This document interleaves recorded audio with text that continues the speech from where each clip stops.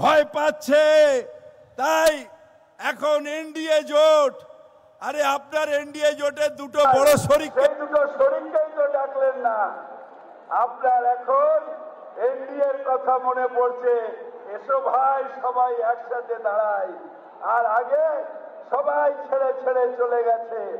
এখন আমাদের সামনে প্রশ্ন যে ভারতবর্ষ বাঁচানোর জন্য আমাদের নেত্রী যে ডাক দিয়েছে এখন আমাদের সামনে প্রশ্ন যে ভারতবর্ষ বাঁচানোর জন্য আমাদের নেত্রী যে ডাক দিয়েছে, আমরা ইউনাইটেড, একসাথে সব ধর্ম নিরপেক্ষ শক্তি লড়াই করব আর বলব, মোদি হটাও, দেশ বাঁচাও, মোদি হটাও, দেশ বাঁচাও, মোদি হটাও, দেশ বাঁচাও।